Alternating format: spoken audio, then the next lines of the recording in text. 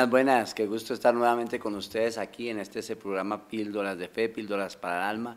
Como siempre con la palabra de Dios, hoy queremos compartir una parte del texto bíblico del libro de los Filipenses. Más exactamente leeremos capítulo 4, versículos 10 al 13.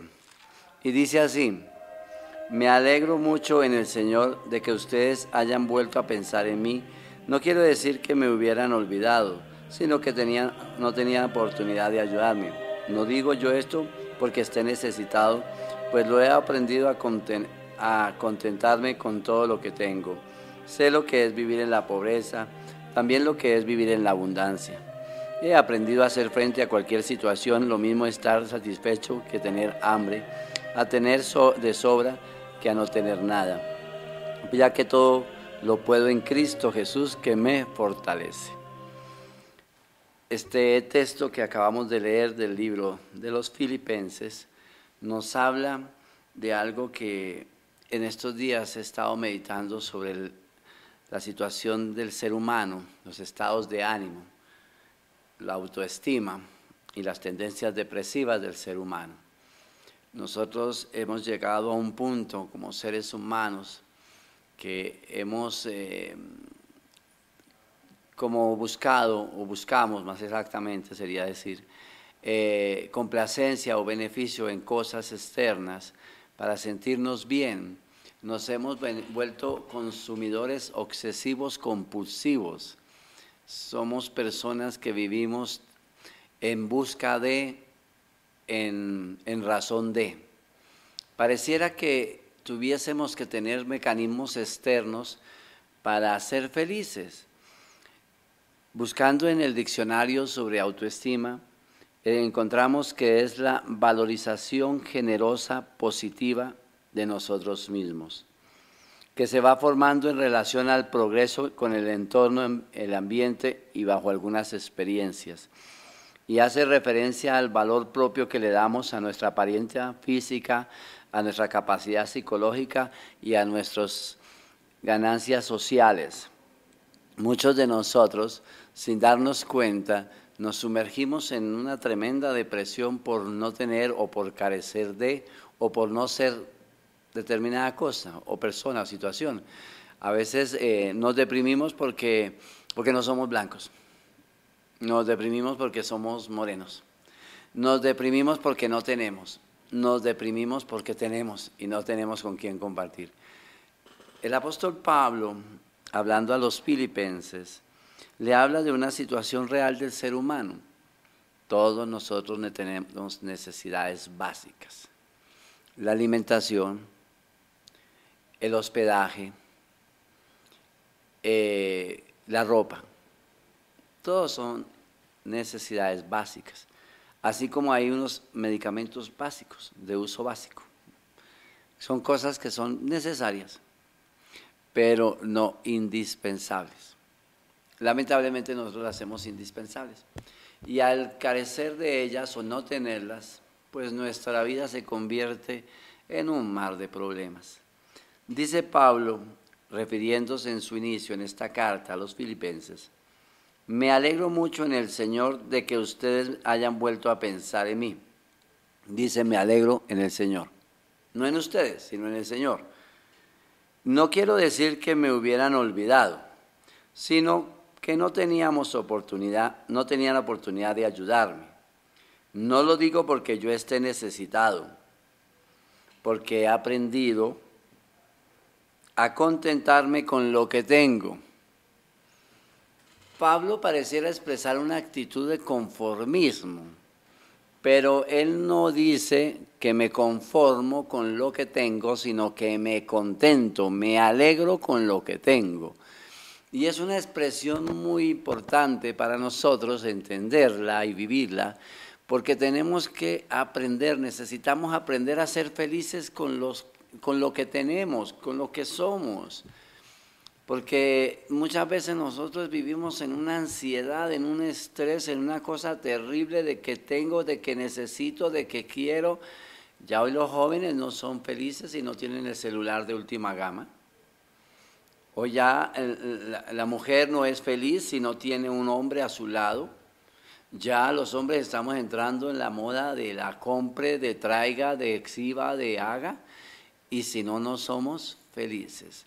Y este tiempo de mercadeo donde se ofrece y se ofrece y se ofrece y en todo lugar encontrarás cosas que se ofrecen para tu felicidad.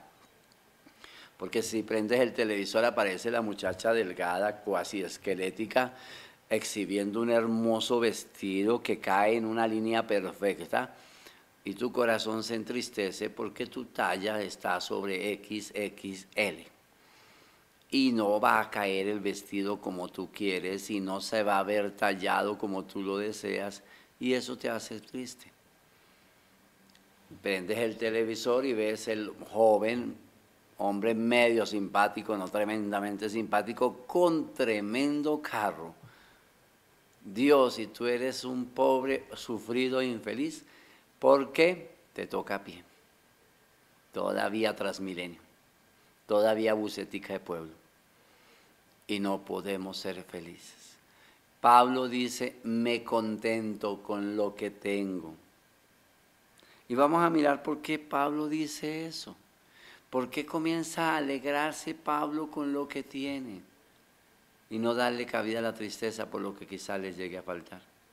Vamos a unos mensajes comerciales y ya volvemos.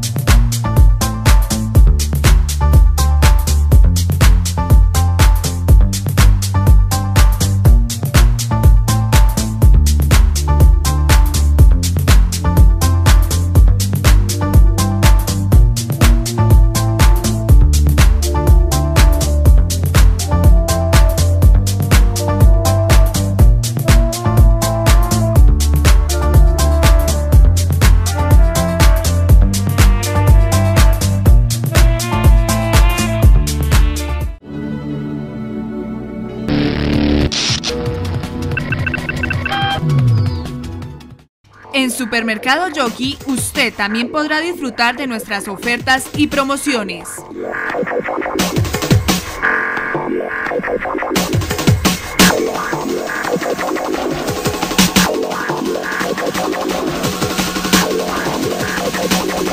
Y por ser afiliado a Precus, obtenga un 3% más de descuento.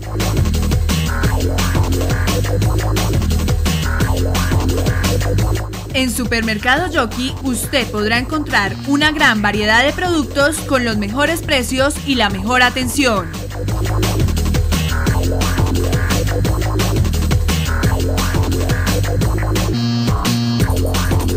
Supermercado Jockey, ubicado en la carrera décima número 287. Comuníquese al teléfono 851-0603 o al celular 313-454-6713. 313-454-6713. Supermercado Jockey pensando en su bienestar.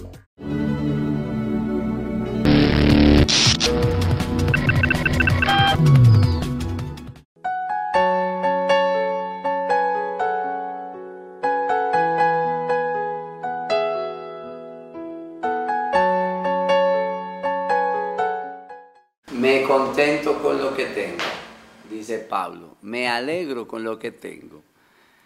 ¿Por qué? Versículo 11. No lo digo porque yo esté necesitado, pues he aprendido a estar contento con lo que tengo. Versículo 12. Sé lo que es vivir en la pobreza, también lo que es vivir en la abundancia. Hay que aprender a vivir en la pobreza para gozarnos en la abundancia. Hay que aprender a ser feliz en lo poco para lograr obtener lo mucho. No puede depender nuestra felicidad de tener, de poseer. Bien dice Santa Teresita de Jesús, quien tiene a Jesús lo tiene todo. Cuando tenemos esos sinsabores, sentidos en nuestro corazón, cuando no logramos la felicidad, porque todo depende de tener, de poseer. No puedo ser feliz porque no tengo una casa, no puedo ser feliz porque no tengo un vehículo, no puedo ser feliz porque no tengo un empleo, no puedo ser feliz. Y cada día pareciera que todo se confabulara para hacernos más infelices, más desdichados. Lamentablemente, nuestro afán consumista, nuestro afán en el que hemos confundido los sentimientos y la afectividad con el materialismo. Todo depende de qué doy y de qué me dan. Hemos convertido el afecto en un mero materialismo desde los sentimientos básicos del ser humano, desde la maternidad y la paternidad. El no poder amar a mis padres porque económicamente no tienen solvencia económica para darme lo que yo deseo. No puedo amar a, este esposo porque, porque no tiene para darme lo que yo necesito. Como, de, como si todo, todo tuviese relación directa con el dinero, con la, con, el, con la economía. Y Pablo habla del aprender, del saber vivir en la pobreza. Y no es que tengamos una mentalidad de pobres ni vayamos a tener una mentalidad de pobres, es saber que tengo que aprender algo importante y valioso, que la vida toma un carácter maravilloso por el hecho de estar vivo. La existencia del ser humano es importante para mí porque yo existo dentro de esa existencia, yo estoy ahí presente. Ya todo lo demás es ganancia venir a este mundo a lograr, conseguir, eh, realizar cosas, es secundario. El punto de la existencia ya es importante y debemos ser alegres, felices, dichosos con esa experiencia de vida que tenemos. Porque cuántos eh, podemos tener capacidades físicas, naturales, pero que nunca valoramos, poder ver, poder caminar, poder escuchar y otras tantas personas que no lo tienen valorarían en gran estima esto y serían capaces de pagar, ¿por qué no?, todo el oro del mundo por ello. Nosotros a veces nos creemos los más infelices, los más desdichados por ciertas posesiones materiales. El dinero no lo es todo en la vida, pero nosotros damos una vuelta tremenda en función del dinero. Por eso el aprender de vivir de Pablo en la pobreza también lo lleva a aprender a vivir en la abundancia, el tener un día, el otro día no tener. Dice igualmente, he aprendido a hacer frente a cualquier situación, aprender a hacer frente a cualquier situación. Y es algo en lo que yo veo hoy en día que los seres humanos estamos faltando, porque estamos enseñados a los momentos buenos cuando la vida va hacia arriba, ¿no? Como en esa montaña rusa que todo va hacia arriba. Pero llega el momento en que la montaña rusa va hacia abajo, en que la vida va hacia la adversidad, hacia los conflictos, hacia los problemas. Y todos nosotros como cristianos debemos saber que la experiencia del cristianismo también va y pasa por el momento del dolor, del sufrimiento, del, del, padecer, del, vivir circunstancias que, que, no quisiéramos vivir, pero que son necesarios y traen un fruto de bendición también a nuestra vida. Y lamentablemente nosotros le huimos al dolor, al sufrimiento, le huimos a la cruz, le huimos a, a, esas experiencias santificantes que se dan en medio del dolor, del sufrimiento.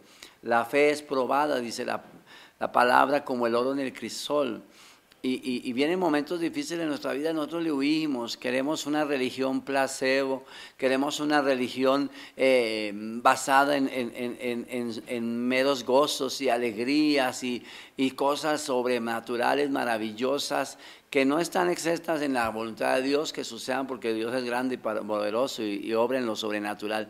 Pero pareciera que toda nuestra vida tiene que eh, girar en torno de estar bien como esos productos de farmacia, ok, estar bien, eh, como ciertos eh, sustancias y medicamentos que adormecen nuestra mente para que no vea lo, difícil, lo duro, para que no, no enfrente las realidades. Y, estamos así metidos en los centros comerciales, estamos en los bares, en, en donde sea, donde parezca que se encuentra vida porque afuera no es vida. Afuera, en nuestro diario vivir parece no, no hay vida. Y a veces buscamos los grupos y comunidades de oración para que nos vendan una pseudo religión de economía, de prosperidad, de ganancias, de éxito, de fama, para escabullirnos a la gran realidad de enfrentar el sufrimiento del dolor y de enfrentarlo no solo en nosotros, sino como bien dice Pablo, en Cristo Jesús que nos fortalece. En este eh, eh, escrito Pablo da a entender que cualquier situación que venga a la vida de nosotros es una experiencia enriquecedora. Es, es estar eh, convencido como Pablo que dice que se siente lo mismo estar satisfecho o tener hambre. Las dos deben ser complacidas. ¿sí? Satisfecho pues tiene que reposar, tiene que descansar para reposar el alimento, no salir corriendo, tener un momento de tranquilidad y tener hambre, pues también hay que estar tranquilo y sereno porque la angustia no te va a dar de comer. No te va a dar de comer eh, el correr y enloquecerte a ver qué hacemos, cómo hacemos, dónde, qué miro, qué hago, porque puede llevar a tomar decisiones equivocadas en tu vida ese afán, esa angustia. Pablo habla de una tranquilidad y una serenidad que se puede obtener solamente en Cristo Jesús. Por eso al cerrar de ese versículo 13 con broche esta palabra, él dice, a todo le puedo hacer frente o todo lo puedo en Cristo Jesús que me fortalece. Y es de esa fortaleza que queremos hablar en este programa, porque a veces buscamos fortalezas en cosas, en elementos de la naturaleza, en elementos humanos. Queremos buscar nuestra firmeza, nuestra seguridad en cosas vanas, en cosas pasajeras, apartándonos de la única y verdadera fortaleza, del único y verdadero fuerte y poderoso que es el Señor. Nosotros debemos volver a mirar a, la persona de Dios como aquel pueblo de Israel que sabía en medio del desierto y pasando aquel tiempo difícil que si alguien podía entronizarlos, llevarlos a la tierra prometida, era Dios. Porque muchas veces nosotros queremos que, nuestra felicidad nos la procuren elementos, circunstancias o personas que son tan efímeros como nosotros mismos. Y nos apartamos, nos alejamos del Dios eterno, del Dios poderoso. Es importante entender que eh, en las circunstancias de nuestra vida, las que sean, lo que debe primar y lo debe sobresalir es la fe en nuestro Señor Jesucristo. La, seguridad y la certeza de saber que en Él todo es posible. Porque para Dios no hay nada imposible. Y si alguien puede fortalecernos y llevarnos a, a victoria en medio de las situaciones, de los conflictos de nuestra vida, es el Señor. Qué importante hoy comenzar a tomar fortaleza, a buscar la fortaleza, adherirnos a la fortaleza que es Dios mismo, a través de la iglesia, a través de la oración, a través de la vida sacramental, a través de la palabra de Dios. Buscar la fortaleza en el Señor y alejarnos de tantas falsas fortalezas, de tantos refugios falsos que hemos conseguido, porque quizás nos estamos hoy escondiendo nos estamos escondiendo, nos estamos refugiando en esas seguridades que parecen buenas, pero que en su momento nos daremos cuenta que no funcionan para nada. Muchas veces hacemos de personas una fortaleza para nosotros y cuando ellos fallecen nos derrumbamos. Cuando nos engañan, nos traicionan, nos derrumbamos. Yo oh, exhorto en este tiempo, en el nombre de Jesús, que, que busques a la fuente de la vida, que busques al Señor, que busques al verdadero único Dios las comunidades y grupos de oración estamos como, como servidores y aunque utilicemos el nombre de líderes, estamos llamados a, anunciar la fuerza del poder de Dios, porque nosotros mismos lo vivimos, nosotros mismos lo experimentamos y por eso mismo lo predicamos. Saber que Dios es el que hace fuerte al débil, que Dios es refugio y fortaleza para los débiles, que Él es el, el, que, el que sostiene el mundo en sus manos y que nosotros no podemos encontrar en ningún elemento creado en la naturaleza, creado por el Señor, ninguno de esos elementos creados vamos a encontrar la fuerza y el poder de Dios, solo en el mismo Señor, en Él que dice Pablo, me fortalece. Vamos a un mensaje de comerciales y ya volvemos.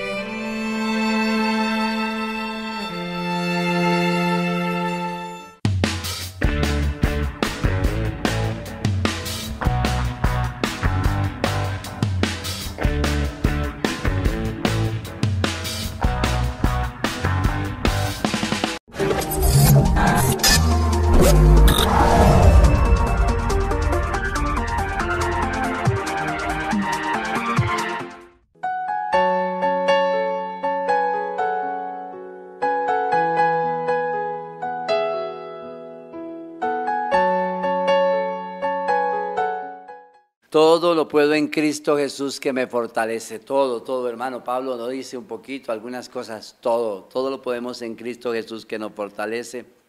Por lo tanto, hermano, te levantas en el nombre de Jesús. Te invito a que pongas de pie delante del Señor, que te pongas en la presencia de Dios, que le creas al Dios de la gloria, que dejes de temer, que te quites hoy el miedo, el temor. Quizás vienes impregnado del miedo, del temor hay momentos en que hemos fracasado. ¿Quién no ha experimentado el fracaso? Pero el que experimentó el fracaso tiene el derecho a la victoria. Toda lucha, toda batalla tiene sus momentos. Pero perder una guerra no es perder la batalla. Por lo tanto, levántate en el nombre de Jesús. Pon ánimo seguro en el Señor y créele a Dios. Créele a la palabra del Señor. Todo lo puedo en Cristo Jesús que me fortalece. Qué importante comenzar a mirar hoy de una manera diferente, con optimismo. Con optimismo las cosas, mirar con fe y poder cimentar en esa fe el lograr las cosas. Porque el hombre, el ser humano por sí mismo no puede nada, eso lo dice el Señor, su palabra, el Evangelio dice, os aseguro, sin mí no podéis hacer nada. cuando el Señor dice, os aseguro es porque así es y de cierto es, recalca la palabra. Por eso yo te invito a que en este momento le entregues al Señor tu vida, que te abandones en las manos del Señor, que te dispongas en el Señor pero que tengas la seguridad que tú lo puedes hacer en Cristo Jesús, que es tiempo de volver mar adentro, echar las redes como Pedro, ir por esa pesca milagrosa. Es tiempo de tomar en la mano asidos en la fe a cada miembro de familia y luchar por salir adelante uno en la ayuda del otro, con la fuerza y el poder de Dios. Saber que no es tiempo de quedarte callado, es tiempo de orar, es tiempo de suplicar, es tiempo de levantarte en oración. Estamos en tiempo de cuaresma no es un tiempo de luto, es un tiempo de bendición, es un tiempo para entrar en nosotros mismos y hacer una retrospección y sacar de nuestro corazón todo lo que no, no agrada al Señor, todo lo que no trae beneficio a nuestra vida y fortalecernos con esa pasión, muerte y resurrección de nuestro Señor Jesucristo, dando paso a la victoria de Cristo en nuestra vida. No es un tiempo para vivir de luto, de duelo, pero es un tiempo para reconciliarnos con Dios, para buscar en el Señor, buscar al Señor. Él mismo nos dice en su palabra, búsqueme porque me hago encontradizo el que me busca de corazón. Un tiempo para ir a congregarnos a la iglesia, a la comunidad, al grupo de oración, estar en la presencia de Dios, dando gloria al Dios de la gloria, dándole alabanza al Señor y teniendo la plena seguridad de que Él viene y te toma en tu debilidad y te fortalece, que te da nuevas fuerzas, dice el Deuteronomio y te levanta como en alas de águila. El Señor, porque Él es grande y poderoso. Y yo te invito que en este momento, ahí donde estás, en un momento cierres tus ojos y le digas al Señor, ven hoy a ser mi fortaleza. Ven, Señor, hoy a levantarme. Señor, ven a sacar hoy de mí la vida, Señor, de mi corazón. Ven a sacar todo aquello que no te agrada. Ven a liberarme del pesimismo, del fracaso, de la baja autoestima, de sentirme inservible, inútil, de sentirme incapaz, Señor. Y ven a darme la fuerza, Señor, la capacidad, Señor, de reconocer que todo lo puedo en ti, Señor, que todo es posible en ti, Señor, que ya no se trata de mis fuerzas, sino las tuyas, Señor, que ya no soy yo, eres tú quien vive en mí, Señor, y que me das hoy la capacidad de ir más allá y romper las fronteras, desatar las cadenas, romper los yugos, Señor, porque tú me das autoridad, porque tú me das el poder hacerlo, Señor, porque tú me das tu fortaleza porque tú eres, Señor, el cimiento de mi vida y haces posible lo que era antes imposible, Señor. Ven a darme la certeza y la seguridad de obrar porque conforme a tu palabra lo voy a hacer. Dame la capacidad de hacer aquellas cosas que dejé de realizar en el pasado y que está en tus manos, Señor, y en este poder de hacerlo en tu nombre, Señor.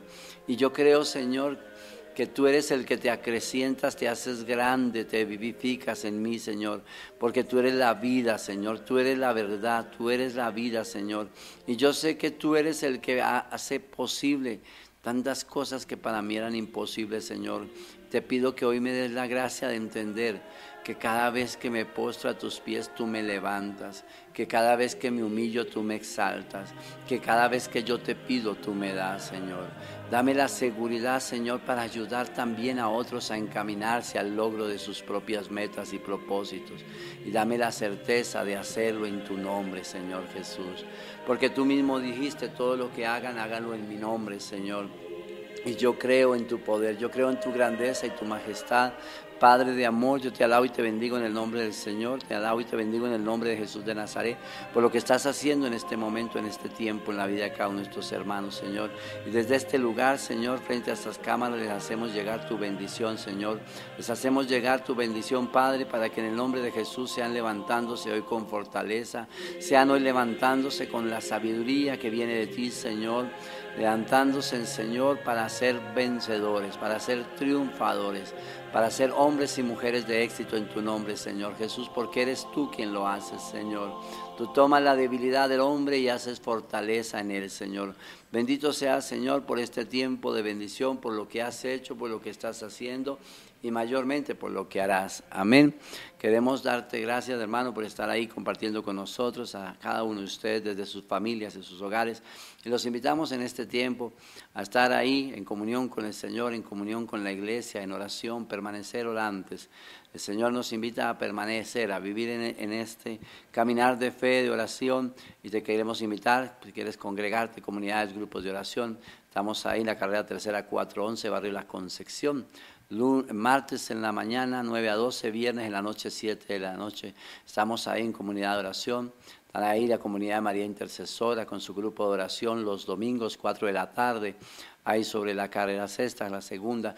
Estamos invitándolos también para que en este tiempo se unan a comunidades, grupos de oración nuevos, nacientes, pueblo de Dios, nueva alianza, comunidades de oración, semillas de oración.